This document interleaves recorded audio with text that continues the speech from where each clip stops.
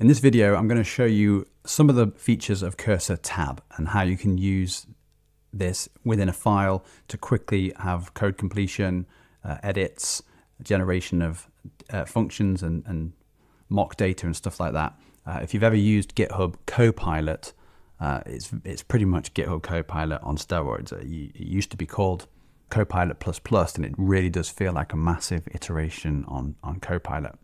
I remember when Copilot first came out, it blew my mind just how good it was that you could just start typing and it would suggest the how to complete the function. You could just type a comment and it would create a function based on that. And it feels like that, but it's so much more. It's so much more powerful now. You can you can do partial, you can accept partial completion, you can do multi-line edits, you can do all kinds of, of different stuff where it edits. It doesn't just predict it; it also tells you where the cursor, where it thinks you need the cursor to go to then edit the HTML or edit edit the code to add in these new features. So I've built a little to-do list app here with uh, Laravel Livewire Volt. Volt is relatively new. I don't know anything about it. That's why I'm, I'm using it. I want to show that you can use Cursor to, to build things in unfamiliar languages. And this is the first time that I'm really looking at it. I had a quick browse to the docs before I did the video, but a few people that I, I follow on Twitter and stuff have been using this quite a lot. So I thought I'd give it a shot. So we have this sort of blank component here, which is what you get when you set it up. So we've got nothing there at the minute, just this double forward slash. What I want to do is I can see that it's passing in this function, the state. Now I don't know much, but I know that the state is probably going to be like a sort of an object that keeps the PHP part of this code in sync with the view part, which is the div down here. So the first thing I'm going to want to do is add some to-dos to this state. So I'm going to do add a list of to-dos to the state. And if I hit tab, you can see that's giving me this gray text. This gray text is, is a prediction. It's a code generation. It's what, it's what Cursor thinks based on what I've typed and based on the file name of what I want to do. So it's giving me three to-do items. Buy groceries, finish a project, and call mum. And to be fair, I probably should call my mum. It has been a while actually. Uh, and if you hit tab, it would just add it. Now notice what happened when I hit tab.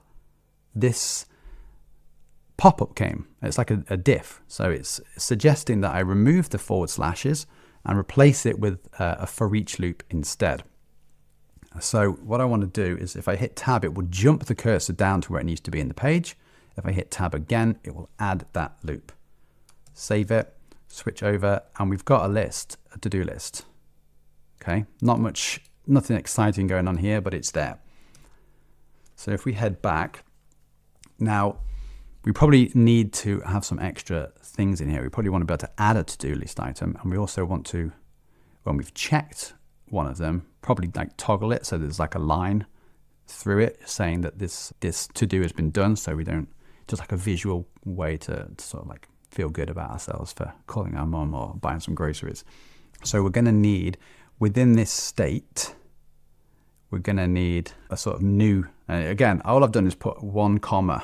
and this is what, this is what blows my mind. You just put a comma and it's, it knows that I'm going to want to add a new to do. So I tab it.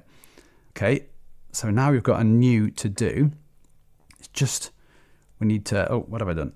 We need to add a function, which is doing function, add to do, this dot to do's. Okay, this new to do, tab that. Remove, I'm going to add it, okay, but I don't really want to do remove right now. I really want to do, and actually I think from reading the docs, I don't necessarily think I want to do this because I think with Laravel Volt, we can just do it as like a add to do. So you do it as like a assignment operator. Okay, remove to do. Now it's trying to tab me over here to add a remove button. Okay, so let's let's go back and see. I've got an undefined variable index here. So we're passing an index which doesn't exist. So I need to have a little look here. Ah, we need to change this for each. Oh, it's trying to add a form. Okay, so look, I've just added, I've just literally gone onto the line and it's now suggesting that I edit that as an index And then if I save that and head back over, um, now we've got, we can remove all the to-dos. Great. So the next thing we probably want to do now that that's working, we've got, oh, did I test add to do?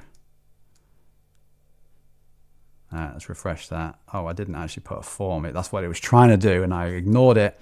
I apologize, cursor. We need to add a form here. and again, it just knows. I mean, it did try and do it a minute ago and I, I, I refused it. So it's literally added us a text input and it's a wire model, which is binding the value of this input to a new to do in the state here. And then when we submit it, it's going to call this add to do function. So what it will do is we'll take the to do item, we'll add it to the list and then wipe new to do so we can use it again. Makes sense. So we'll save that, tab back over to here. And then you can't actually see the input because there's no styling. So we maybe do call dad.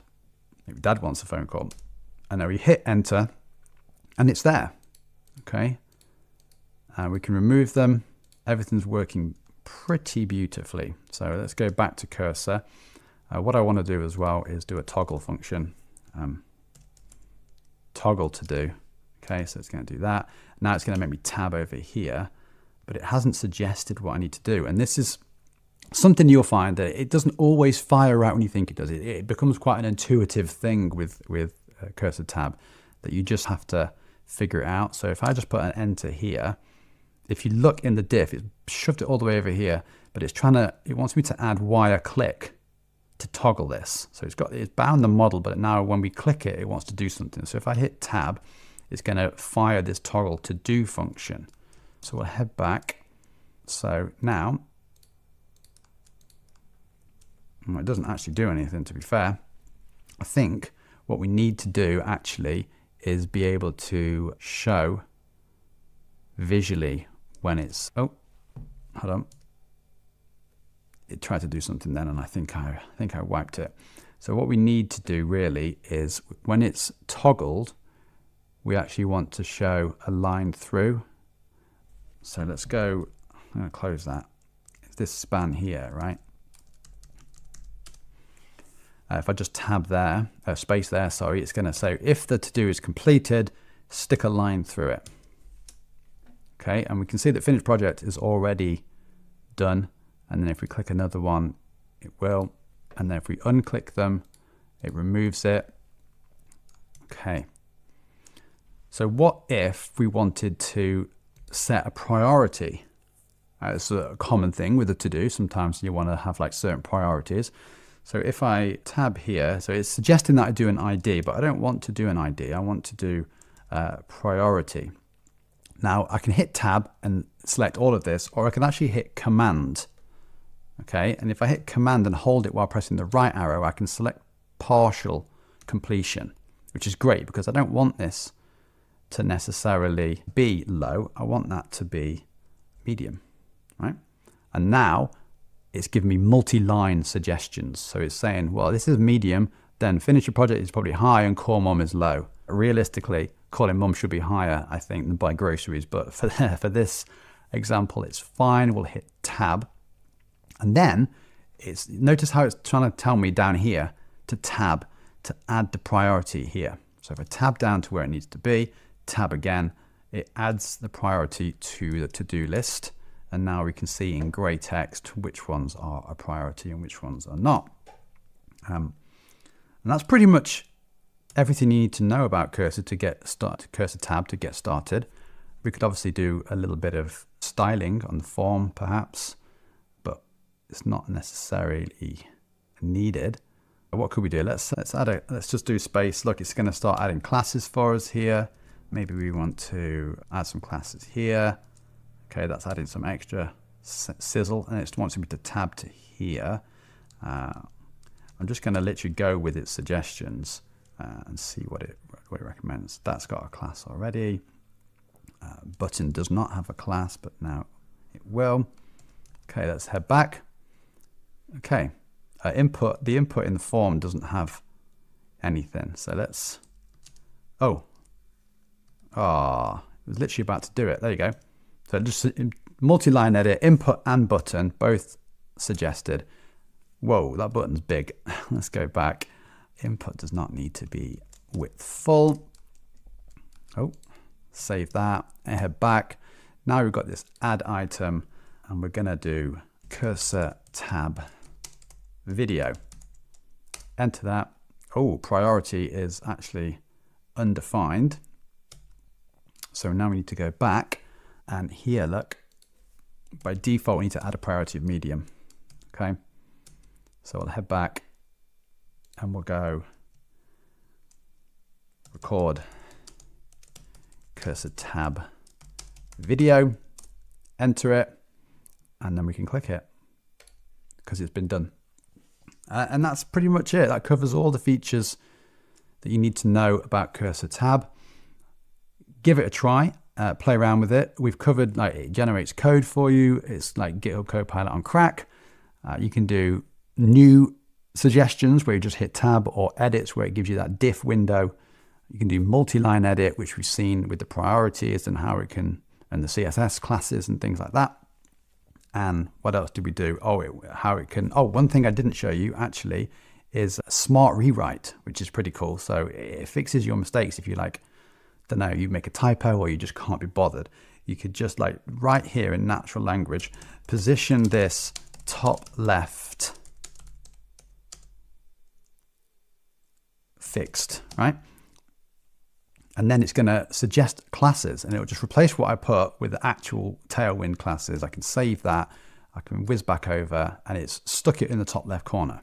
It's obviously not what you would want in a real project, but uh, it, it picks up on typos. It picks up on natural language and tries to figure out and just with all the context, all this code is added to the LLM with any other files that might be open as well, uh, the file name, and it can infer a lot and it can sort of like fix errors that you have and just knows really what you want to do. And genuinely, I feel like this reads my mind sometimes. And that's smart rewrite. And obviously, we saw how it can predict where the cursor needs to go to make new edits. So, yeah, give it a shot. Let me know. And yeah, in the next video, I will cover the chat sidebar. Cheers.